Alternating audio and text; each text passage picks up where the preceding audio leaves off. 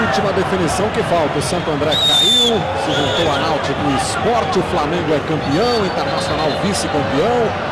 São Paulo fica em terceiro lugar e o Cruzeiro em quarto. São os representantes do Brasil na Libertadores. Internacional, Flamengo, São Paulo, Cruzeiro e Corinthians né, na Copa do Brasil. Três rebaixados já definidos, falta apenas uma vaga. Olha a saída errada do Renatinho, de presente para o Fred. O Fred vai usar sua experiência, vai prender a bola aqui no ataque. Gonzalez lança para o Dieguinho, que passa livre aqui pelo lado esquerdo. Jesse encosta na marcação. Dieguinho, Dieguinho tenta buscar ali o fundo do campo. Jesse chegou legal, chegou na bola. Márcio Gabriel toca para o Leandro Donizete. Torcedor do Curitiba em pé, pede pressa para o time. Carlinhos Paraíba foi puxado pelo Quarto e deu vantagem. Paraíba segue com a bola. Vem aqui na direita pedindo o Leandro Donizete. Paraíba rolou para lá, rolou para cá. Vira o jogo agora lá para o lado esquerdo. Marcos Aurélio, pressionado ali pelo Cássio. Tentou lançar, Cássio corta. Marcos Aurélio, Carlinhos Paraíba, Leandro Donizete, recebe aqui 44. Márcio Gabriel, girou, procura alguém para jogar, tá todo mundo marcado.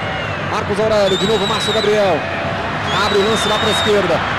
Aí o Marcelinho Paraíba, volta o lance por dentro, pode até bater. Jailton, a bola passa, não pega ninguém. Mais quatro. Tiro de meta para o Fluminense, teremos mais quatro. Milton. Vamos até 49, diga Nádia. Todos os jogadores do banco de reservas em pé aqui na área técnica, pedindo para todo o time ir para ataque.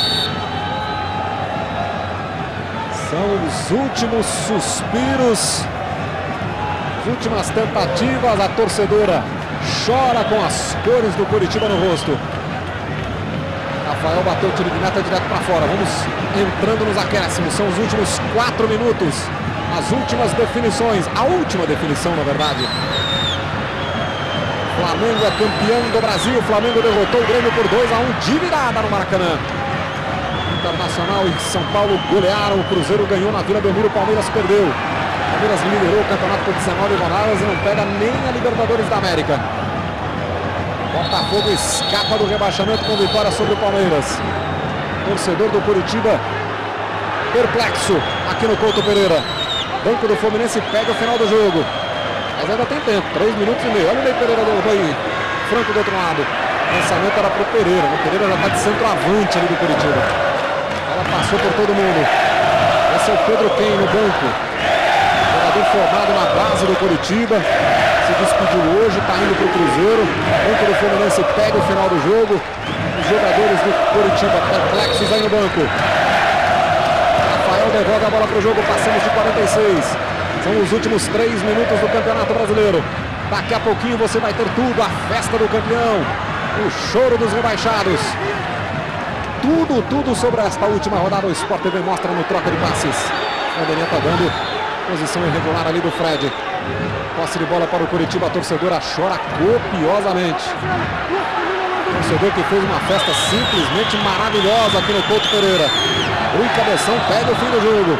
Curitiba ainda tenta, 46 e meio. Um gol agora, o Curitiba precisa, o Fluminense se segura. Bola lançada para o Rômulo, lá do lado esquerdo. Marcação do Dalton. Volta o lance. Renatinho.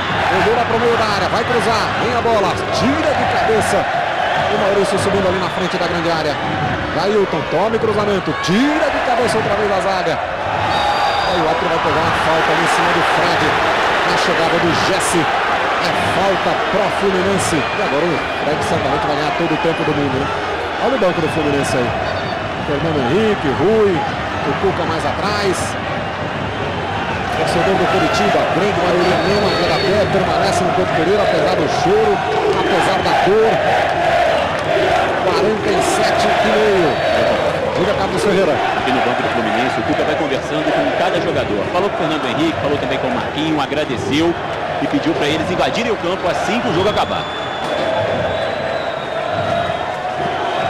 O Fluminense tem a bola no campo de ataque. Você viu ali o Cuca. O Cuca conseguiu o que parecia impossível. Né? O Fluminense lá embaixo está completando hoje a 11 partida sem derrota o Fluminense no Campeonato Brasileiro. Essa arrancada que tirou o Fluminense lá da zona do rebaixamento e trouxe até essa posição de agora está no último minuto do jogo, escapando do rebaixamento. Você vê como choram as torcedoras do Curitiba.